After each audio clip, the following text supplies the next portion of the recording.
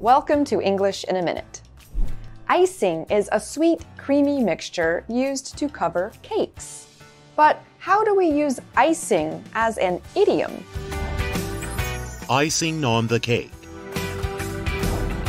Jonathan, how was the Mana concert last night? Amazing!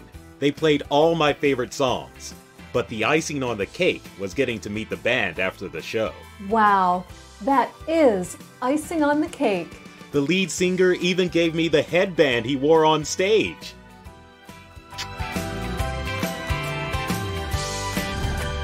Icing on the cake describes something that makes a good situation even better.